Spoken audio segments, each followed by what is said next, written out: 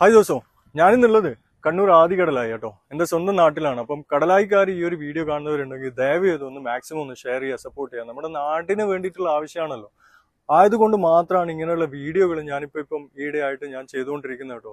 ആയതുകൊണ്ട് തന്നെ maximum support ചെയ്യാൻ നമ്മുടെ നാട്ടിലെ വേണ്ടപ്പെട്ട കാര്യങ്ങൾ ഇപ്പം കോർപ്പറേഷനിൽ പോയിട്ടും വേണ്ടപ്പെട്ട അധികാരികളെ കണ്ടിട്ടും ഒന്നും യാതൊരു വിധ പ്രയോജനമില്ല സത്യം പറയാലോ യാതൊരു വിധ പ്രയോജനം ഇല്ല എന്നുള്ളത് കൊണ്ടാണ് ഞാൻ ഇങ്ങനെ ഒരു പ്ലാറ്റ്ഫോമിൽ സോഷ്യൽ മീഡിയ പ്ലാറ്റ്ഫോമിൽ ഇങ്ങനെയുള്ള വീഡിയോകൾ ചെയ്യുന്നത്. അവൻ ദയവ് ചെയ്ത് സപ്പോർട്ട് ചെയ്യുക. ഇതൊന്നും വേറെ രീതിയിൽ കാണരുത്. നമ്മൾ നമ്മളും ജീവിക്കേണ്ടതല്ലേ? നമ്മളെ നാട്ട് പിന്നെ നമ്മളെ നാട്ടുകാരും ജീവിക്കേണ്ടതാണ്. നമ്മളെ കുട്ടികളും പേരമക്കളും ഒക്കെ ജീവിക്കേണ്ട ഒരു നാടാണിത് അപ്പം ഇതിങ്ങനെ നശിച്ചുകൊണ്ടിരിക്കാന്ന് പറഞ്ഞു കഴിഞ്ഞാൽ സത്യത്തിൽ കണ്ട് സഹിക്കാൻ പറ്റുന്നില്ല. ആയതുകൊണ്ട് മാത്രമാണ് ഇങ്ങനെയുള്ള വീഡിയോ ഈടായിട്ട് ഞാൻ ചെയ്യുന്നത് കേട്ടോ.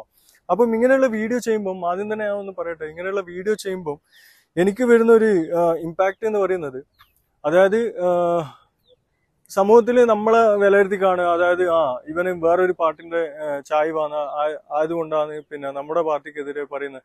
ആര് ഭരിക്കുന്നുണ്ടോ ഇല്ലേ എന്നുള്ളതല്ല ആര് ഭരിക്കുന്നോ നല്ല രീതിയിൽ ഭരിക്കുന്നുണ്ടെങ്കിൽ അവർക്ക് സപ്പോർട്ടായിട്ട് തീർച്ചയായും ഞാൻ സംസാരിക്കും. അത് ഏത് പാർട്ടി ആയിക്കഴിഞ്ഞാലും ശരി. പക്ഷെ നമുക്ക് വേണ്ടുന്ന കാര്യങ്ങൾ നമ്മൾ ചോദിച്ചിട്ട് വാങ്ങുക എന്നുള്ളത് പിന്നെ നിങ്ങൾക്കെല്ലാം അറിയുന്ന ഒരു കാര്യമാണ്. സത്യം പറഞ്ഞു കഴിഞ്ഞാൽ കരയുന്ന കുട്ടിക്ക് പാലുള്ളൂ എന്ന് പറഞ്ഞ പോലെ നമ്മൾ കരഞ്ഞു കഴിഞ്ഞാലും വേണ്ടപ്പെട്ട അധികാരികൾ നമുക്കൊന്നും ചെയ്യാ ചെയ്തു തരാൻ തയ്യാറാവുന്നില്ല.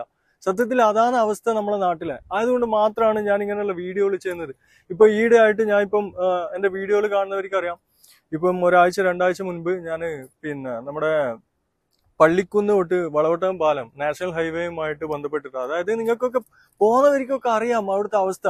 എത്ര വർഷമായി എത്ര വർഷമായി ഏതൊക്കെ ആൾക്കാർ മാറി മാറി മാറി മാറി ഭരിക്കുന്നുണ്ട്. അതായത് ഏതൊക്കെ പാർട്ടികൾ മാറി മാറി മാറി ഭരിച്ച് ഓക്കെ കോൺഗ്രസും ഇക്കണ്ട മാർക്സിസ്റ്റ് പാർട്ടി തന്നെ മാറി മാറി ഭരിച്ചിട്ടുള്ളൂ. പക്ഷെ ഇവരൊക്കെ സത്യം പറഞ്ഞു കഴിഞ്ഞാൽ ആ ഒരു ഭാഗത്ത് തിരിഞ്ഞു നോക്കുന്നില്ല എന്നുള്ളതാണ് പരമമായിട്ടുള്ള സത്യം. അപ്പം ആ ഒരു ഭാഗത്ത് വേണ്ട നിങ്ങളൊക്കെ ടൂ വീലൊക്കെ ഒന്ന് എടുത്തിട്ട് പോയി നോക്കും. ഒന്നും വേണ്ട ഓട്ടോ ഡ്രൈവർമാരോടൊന്ന് ചോദിച്ചു നോക്ക്. മറ്റുള്ള വണ്ടികൾക്ക് എങ്ങനെയാ അത് ഫീൽ ചെയ്യുന്നതെന്ന് എനിക്ക് സത്യത്തിൽ അറിയില്ല. പക്ഷെ ഞാനും കുറെ ഫോർ വീലൊക്കെ എടുത്തിട്ട് പോയിട്ടുണ്ട് കാറുകളൊക്കെ എടുത്തിട്ട് പോയിട്ടുണ്ട്. അതും ഇവൻ എഫക്ട് ചെയ്യുന്നുണ്ട്. പക്ഷെ എല്ലാവർക്കും ഒരുപോലെ എഫക്ട് ചെയ്യണമെന്നില്ലല്ലോ.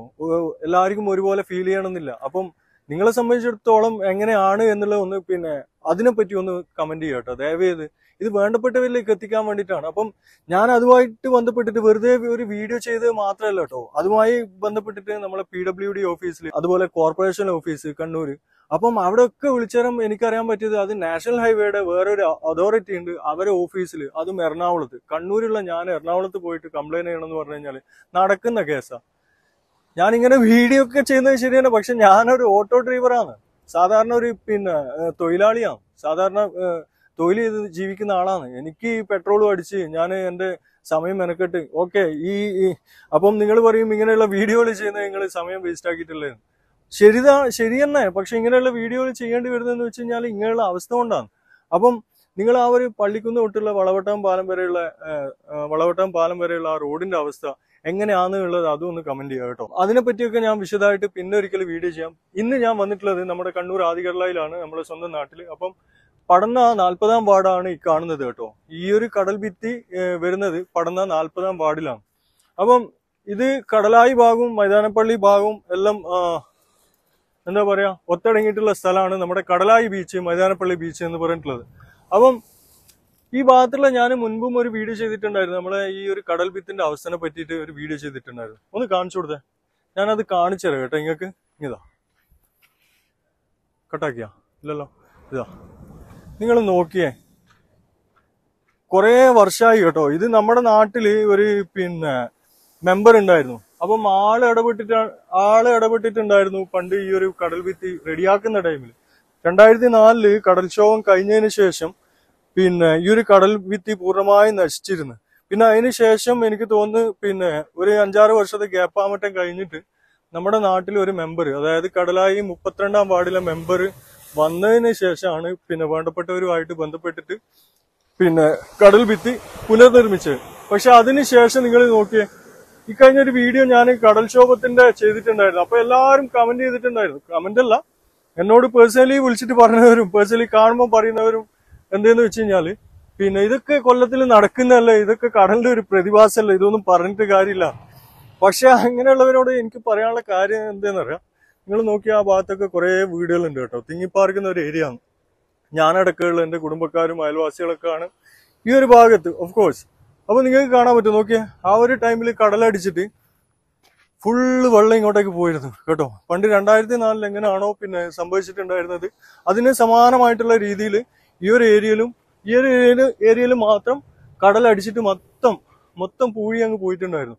അപ്പം ഇത്രയും ഭാഗം മാത്രമേ ഉള്ളൂ. നിങ്ങൾ നോക്കി നോക്കിയേ കൂടുതൽ ഏരിയ ഒന്നും ഇല്ല കേട്ടോ. നമുക്ക് സത്യം പറഞ്ഞാൽ കടൽ നമുക്കൊരു സംരക്ഷണത്തിന് ഒരു കടൽ ഭിത്തി എന്ന് പറയാനോ അല്ല കടപ്പുറന്ന് പറയാനോ ഇതിനൊരു പൊടി തരി മണൽ വരെ ഇവിടെ ബാക്കിയില്ല.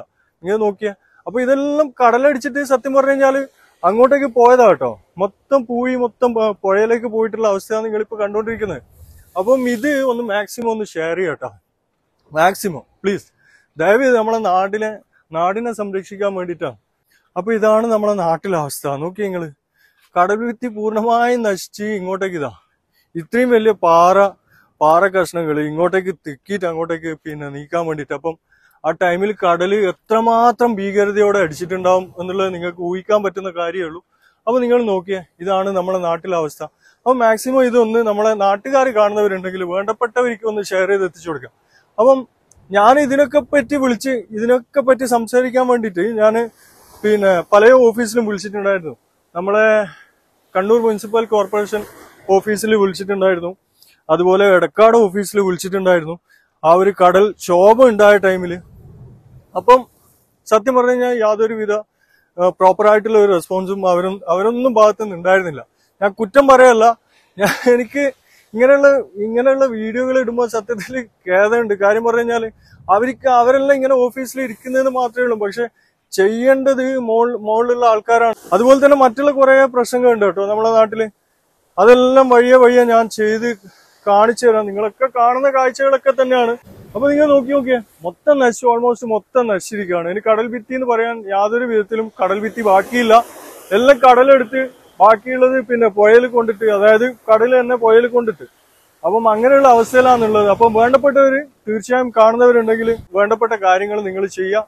പ്ലീസ് ദയവ് ചെയ്ത് ചെയ്യാൻ ശ്രമിക്കുക. ഇല്ലാന്നുണ്ടെങ്കിൽ നിങ്ങൾ മാക്സിമം അവരിലേക്ക് ഒന്ന് എത്തിക്കാൻ ശ്രമിക്കുക. അവരൊന്ന് കാണട്ടെ ഇവിടുത്തെ അവസ്ഥ. സത്യത്തിൽ കാണുന്നുണ്ടാവും. ഞാനൊന്നും ഇതൊന്നും കാണിക്കേണ്ട ആവശ്യമില്ല. എല്ലാവരും കാണുന്നതാണ്. എല്ലാവർക്കും കണ്ണും മൂക്കും നാക്കും വായി എല്ലാം ഉള്ളതാണ്. എല്ലാവരും കാണുന്നതാണ്. പിന്നെ വേറൊരു കാര്യം പറയാനുള്ളത് നമ്മളെ നാട്ടിലെ കച്ചറനെ പറ്റിയാണ്. അതിനെപ്പറ്റി വേറെ ഡീറ്റെയിൽ ആയിട്ട് വീഡിയോ ഞാൻ ചെയ്യാം.